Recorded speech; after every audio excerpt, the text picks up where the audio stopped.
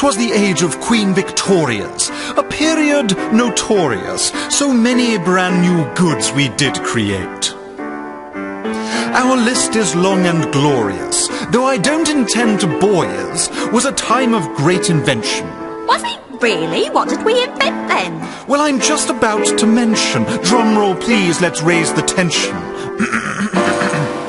we invented this music hall. Is that all? Well... A chap called Henry Bessemer invented molten steel, which led to other chaps creating the automobile, which led to petrol tires and bikes, so all that was required was road, so concrete came and tarmac thought up too. You're hired.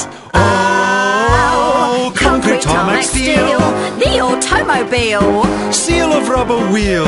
Such inventive zeal. Still there's plenty overtime to come up with ideas. We invented light bulbs. Nice one. Cheers! Typewriters and radios, now news was fast conveyed. Hello. A telephone was no good till a second phone was made. Hello! Our inventors did not snooze. Always had another ruse. The latest flushing loos. Films that did amuse. Flashbulb cameras to use. What a picture! What a picture! Vacuum cleaners, toilet paper, postboxes and stamps. Toilets, aspirin, anesthetics, locks, electric lamps. Sewing machines, x-rays, comics, ice cream in a pot. Easter eggs and rockets. We invented the whole lot. Oh, Ah. hang on, there's more. Trains and lines and bridges and the underground as well.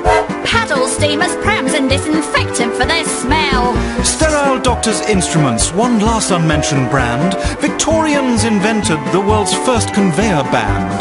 Cuddly toy. Invented 1902, the year after Victoria died. Oh, barometers were new. Iron ships are cool. What genius! Thank you. Seems we're almost through. Just one little oversight.